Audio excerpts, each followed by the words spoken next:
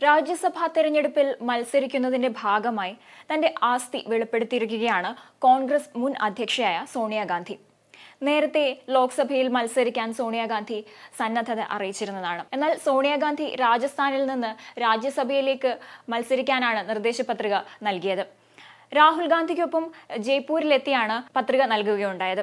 അനാരോഗ്യം കാരണം ലോക്സഭയിൽ മത്സരിക്കാൻ കഴിയില്ല എന്നത് പരിഗണിച്ചുകൊണ്ടാണ് കോൺഗ്രസ് നേതൃത്വം ഇത്തരത്തിലൊരു തീരുമാനത്തിലേക്ക് എത്തിയത്.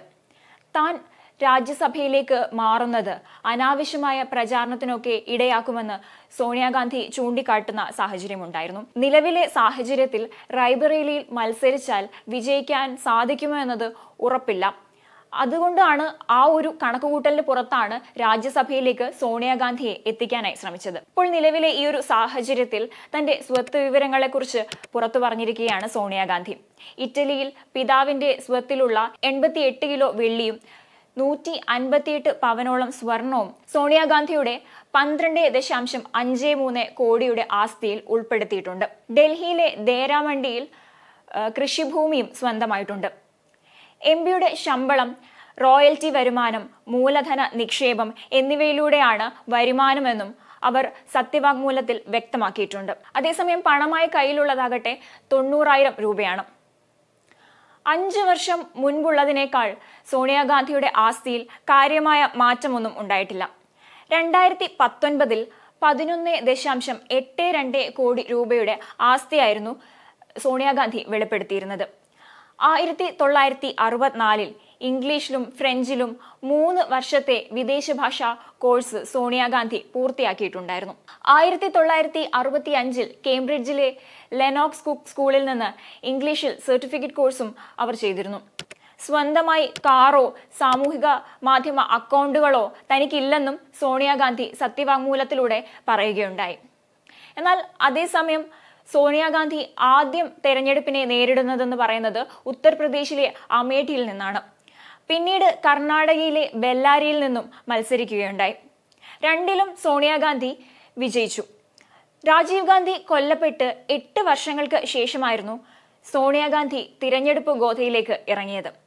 പാർട്ടിയെ രക്ഷിക്കാനാണെന്ന് അവർ പറയുകയും ചെയ്തിരുന്നു. രണ്ടായിരത്തി നാലിൽ സോണിയ റായ്ബറേലിയയിലേക്ക് മണ്ഡലം മാറ്റുകയായിരുന്നു. കോൺഗ്രസിന്റെ യു പിയിലെ രണ്ടാമത്തെ ശക്തികേന്ദ്രമായിരുന്നു അത്. ആയിരത്തി തൊള്ളായിരത്തി തൊണ്ണൂറ്റി ഒൻപത് മുതൽ കോൺഗ്രസിനെ മുന്നോട്ട് നയിക്കുന്ന ശക്തിയായിരുന്നു സോണിയാഗാന്ധി. പാർലമെന്റിന് അകത്തും പുറത്തും കോൺഗ്രസിലെ തന്റെ സഹപ്രവർത്തകരെ മുൻനിരയിൽ നിർത്താൻ സോണിയാഗാന്ധി എപ്പോഴും ശ്രദ്ധിച്ചിരുന്നതാണ്. എപ്പോഴും മൃദുവായി സംസാരിക്കുന്ന ഒരു പ്രകൃതമായിരുന്നു സോണിയാഗാന്ധിക്ക് ഉണ്ടായിരുന്നത്. എന്നാൽ അതേസമയം രൂക്ഷമായ വിമർശനവും തനിക്ക് വശമുണ്ടെന്നും നേരത്തെ സോണിയാഗാന്ധി തെളിയിച്ചിരുന്നതാണ്. കഴിഞ്ഞ വർഷം രണ്ട് തവണ ബി ജെ പിക്കെതിരെ അവർ രംഗത്ത് വന്നിരുന്നു.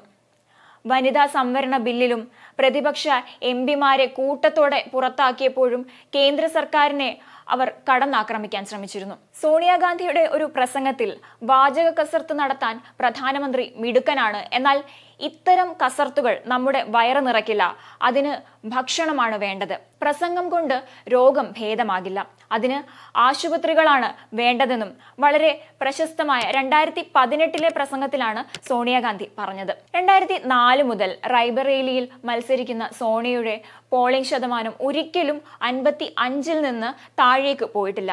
രണ്ടായിരത്തി നാല് രണ്ടായിരത്തി ഒൻപത് വർഷങ്ങളിൽ ഈ സീറ്റ് സോണിയ വിജയിച്ചിരുന്നു.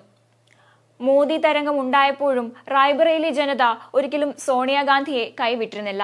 എന്നാൽ അതേസമയം വരുന്ന തെരഞ്ഞെടുപ്പിൽ തെലങ്കാനയിൽ നിന്നും മത്സരിക്കണമെന്ന് സോണിയാഗാന്ധിയോട് രേവന്ത് റെഡ്ഡി അഭ്യർത്ഥിക്കുന്ന സാഹചര്യമൊക്കെ ഉണ്ടായിരുന്നു.